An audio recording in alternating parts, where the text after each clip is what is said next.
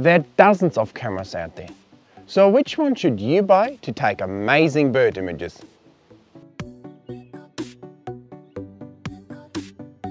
When it comes to finding the perfect bird photography camera for you, there are many contributing factors, like the budget and your style of shooting. So rather than recommending a random camera to you, I want to look at what makes a camera ideal for bird photography, go through the features that I look for in a bird photography camera, so you can make an informed decision afterwards and find the perfect camera for you. If I had the choice between upgrading my lens or upgrading my camera, I would always go for the lens. Lenses hold their value much better than cameras, so they're a much better investment for you. And ultimately, a lens will stay much longer with you. Cameras come and go, but a lot of lenses stay with you for five or 10 years or longer. And lenses hold their value very well. For instance, my first 600mm lens I bought for $6,000 and I sold it for $5,750 10 years later. So it cost me a total of $250 to have a lens for 10 years. Whereas during the same time frame I had three or four cameras that I bought for a lot of money that were all pretty much worthless at the end of that 10 year span. I would also highly recommend against jumping between brands all the time. For my experience, this has never worked out for people when they jump between the brands. Because if you're only looking at the latest, coolest camera, you will have to jump between the brands all the time and all you do ultimately is lose a lot of money because you buy a new gear, sell it and take a hit. Full frame or crop? What's better? I must say it depends. I started out with a Canon 20D that had a 1.6 crop factor, then upgraded to a 1D Mark IIN that had a 1.3 crop factor, Stuck with that for a long time until I sold my 1D Mark IV that also had a 1.3 crop factor and then started using a 5D Mark III and 5D Mark IV that were full frame cameras. I must say personally I never looked back and I never really felt like I'm missing the crop factor but I think that's also because I'm using a big 600 millimeter prime lens and I can use teleconverters. But if you're using shorter lenses, especially zoom lenses like 100 to 400 or 150 to 600, that can't really take extend as well, I think using a 1.6 crop factor camera can be very appealing because you can increase your perceived reach with that lens dramatically from 400 millimeters on a full frame camera to something over 600 or over 800 millimeters on one of those zoom lenses. Recently I was shooting with a friend and he was using a Canon 7D Mark II on his 600 millimeter lens and I was using my 5D Mark IV on the same 600 millimeter lens and I had to stand a lot closer to the birds than he had to and I got a bit jealous at times so I could definitely see the appeal of the crop factor but then when we started to go into like a darker forest, things turned around because I could use much higher ISO and got much better image quality and higher shutter speeds. Whereas on a high megapixel 1.6 crop factor camera, the ISO range you can go to is fairly limited and you might get stuck, especially in darker situations with very low shutter speed that they can limit you severely. Personally, I'm liking full frame cameras because it also gives me more flexibility. If I'm shooting with a 1.6 crop factor camera on a 600mm lens, my reach is over 900 millimeters. So if a bird comes really close to me, for instance, when I'm shooting ducks on a duck ponds and they swim close by, I have way too much focal length. So in that case, I prefer to have the flexibility of shooting full frame at 600 millimeters, add my 1.4 extender to get to 840 millimeters, and add my 2 times extender to get to 1200 millimeters if I really have to. Whereas if I'm shooting with a 1.6 crop factor, I'm starting out at like 900 something millimeters and go to almost 1200 millimeters if I add the 1.4 extender. And many times that can just be too much focal length. So what are the main advantages of full frame? Better image quality, better ISO performance, and personally I think also more flexibility. So which one is best? I would personally always recommend a high megapixel, nice quality full frame camera. But if you're having a shorter lens and you know you're going to stick with that shorter lens, especially if it's a zoom lens for a long time, I think there can be a compelling case made for having a 1.6 crop factor that just gives you that more perceived reach and brings you closer to the birds in your viewfinder and ultimately might allow you to have better image quality because you have to crop much less. I think long term we will see more and more 1.6 crop factor cameras disappear and all the top of the line cameras like there already are will be full frame cameras with a lot of megapixels. And I think more and more of you guys will also be shooting full frame and all I can say is don't be afraid of it. It comes with a lot of advantages and I definitely love it. How many megapixels do we need? In the past I've shot with 6 and 8 megapixels and make it work. Now I'm shooting with 30 but I'm also happy to use 50 or 60 in the future. What do more megapixels give us? Generally more flexibility. If you're shooting with just 6 megapixels, there's not much scope to crop into your files, but if you're shooting with 30 or 40 megapixels, you can shoot a little bit wider and then crop in and still end up with a file that's nice and big. So this is why megapixels are important for me because they add that extra flexibility in the field. What's the sweet spot for me? Probably around the 30 megapixel mark at the moment. I'm shooting with a 5D Mark IV and I'm loving the 30 megapixels. So is there such a thing as too many megapixels? For me, not really. If the image quality is there, the ISO performance is still good, so the images are not too noisy, I'm happy to take any amount of megapixels because it adds so much flexibility for me.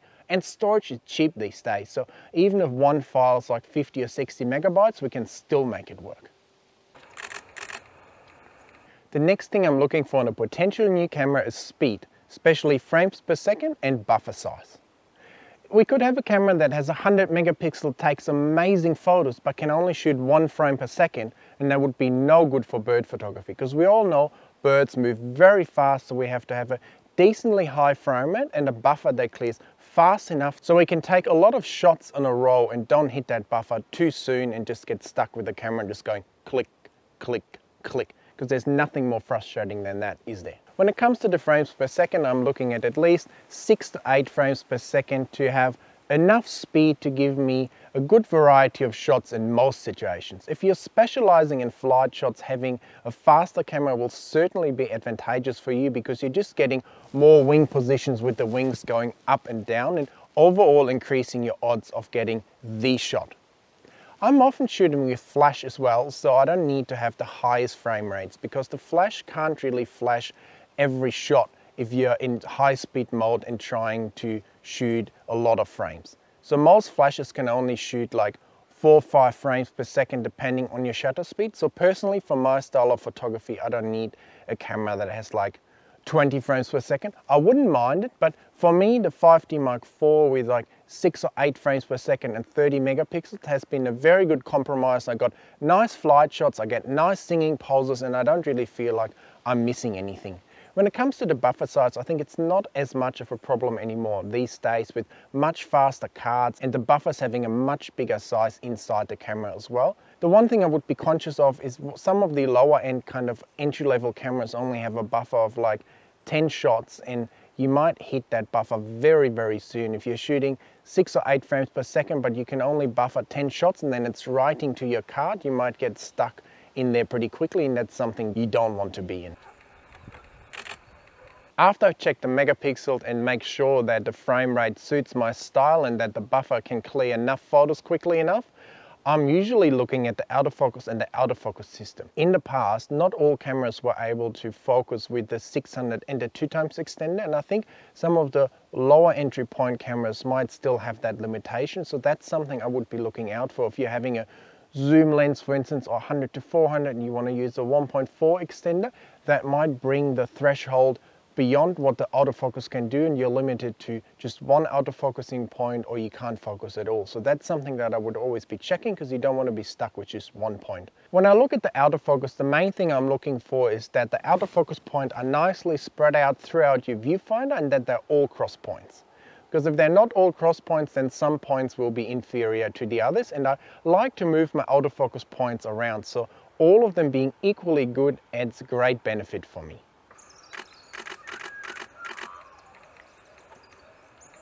When it comes to noise, I'm looking at usable ISO 1600 to 6400 because on a day like today, it's quite dull, but I'd like these shooting conditions and I will need at least ISO 1600 to 3200. So it's important to me that my camera has a usable ISO 1600 to 3200. all the full frame cameras I've used could definitely handle that range and generally I think noise is a bit overblown. There's so many ways you can mitigate noise in the field by shooting light backgrounds for instance or there's so many plugins that remove noise during the post-production process in Photoshop that it's not really a concern. I think the only time noise becomes a concern if there's a lot of pixels crammed onto a small sensor, typically on those 1.6 crop sensors that have 20, 30 or more megapixels where you have a lot of pixels on a small space so you show a lot more noise. And personally I would find that very limiting so that's one of the reasons I'm liking the full frame cameras because I can easily use much higher ISO oh, and still get a clean file and just be more flexible when it comes to the conditions I'm shooting in. For years I thought it was stupid to include video in all these cameras and now things have changed. I'm taking a lot of videos and I'm very happy that my cameras have great video functionalities and I'm actually now looking at new cameras through the video eye as well, seeing what features do they have, do they shoot 4K or even more, do they have high frame rate so I can do some slow motion. So this has become actually very important for me now. I never thought I would take a lot of bird videos, but now it has become one of my most popular content and I really enjoy taking videos like these YouTube videos or just videos of birds in the field. It added a whole new dimension to what I do. So video capabilities have become very important for me now. So I'm definitely looking at the new cameras through that eye and I'm looking for 4K hopefully with 60 or even 120 frames per second and I mean, some of the new cameras shoot 6 or 8K. I take it. I don't think we really need it at this stage, but it can never hurt to have some future-proof technology or just simply being able to crop into an 8K file from a bird that's a bit further away and still get good video quality out of it. What we haven't talked about yet is the budget. We all have a budget. We'd all love to buy the top of the line camera, don't worry about money at all, but that's not really how it works, is it? So it's important that you find the right camera with the right features within your budget. This is not the sexiest recommendation, but I think a good way to mitigate your budget and your budget constraints is to buy a used camera of the previous generation.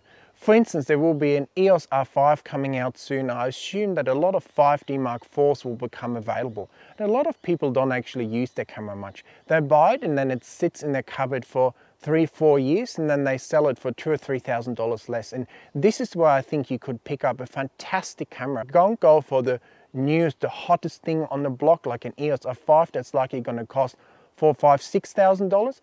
Go for a used Canon EOS 5D Mark IV that might only cost $2,000, $1,800. So I think that's a good way to kind of get a great camera on a budget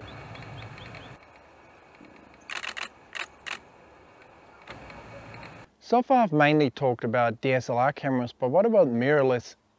Mirrorless is clearly the future. If we look at all manufacturers, that's where it's heading and there's some exciting new cameras coming out like the EOS R5 very soon that have amazing features, features we couldn't really have thought of in a DSLR camera. So I'm excited to try those out for you and let you know what I think about them it's quite a big change there's a lot of things attached to it like you might need new lenses or adapters so it's a big change but it's also an exciting change. I think we're all witnessing the end of the DSLR over the next few years. So what's your opinion on that? Are you excited about mirrorless? Are you not looking forward to it? Are you hoping DSLRs will stick around for a long time? Let me know in the comments. Personally, I'm pretty excited about the new features and functions and video capabilities that the mirrorless sector seems to offer.